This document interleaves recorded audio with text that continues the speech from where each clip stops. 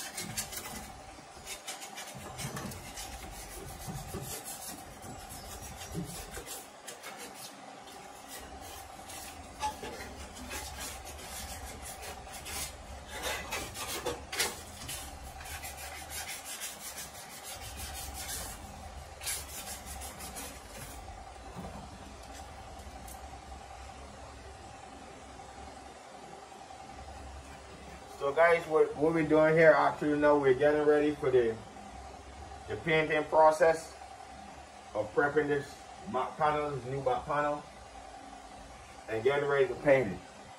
And getting ready to paint the complete car. Well, not the whole car, but spot painted. You know, we paint um, the trunk, you see it's blue, and we just blend it in. So I'll show you that process too. So we're prepping the box, get ready to prime it, and then we'll move to the priming phase. And then from the priming phase, then we move into the sanding and painting.